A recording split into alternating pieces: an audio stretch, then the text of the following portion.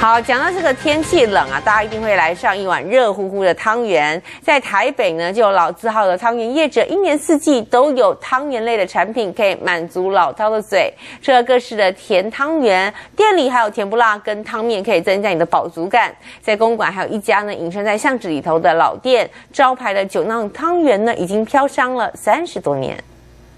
这是你的红豆汤芝麻汤圆，被泡泡又迷迷的汤圆，饱满扎实的红豆，光看这热气蒸腾的模样，就让人甜在心里。再来一碗料多豆满出来的咸汤圆，红葱头、金钩虾米和爆炒香菇熬煮的清汤，渗到嫩 Q 的泥牙里，吸饱汤汁的绞肉，香气十足，稀里糊涂的吞下肚，饱足感一百分。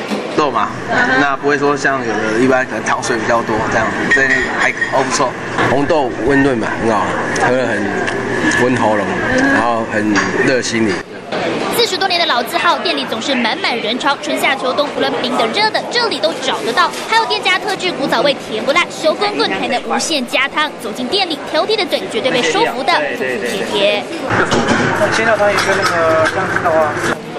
外到人潮，络绎不绝，忙着画单、打包、找钱的时候几乎没停过。非常时刻还得祭出非常手段。那个时候人会比较多嘛，买回去比较多啊，你要稍微限量控制一下，要不然你一个人如果买很多的话，排太久了。在一个人要限多少？限十碗。老店招牌历久弥新，转进隐秘的巷子里，同样拥有三十多年历史的，还有这家台大学生必推的酒酿汤圆。没有名字，没有醒目招牌，隐身巷子里却藏不住好味道。不会感觉到呛，温和，然后吃顺口这样。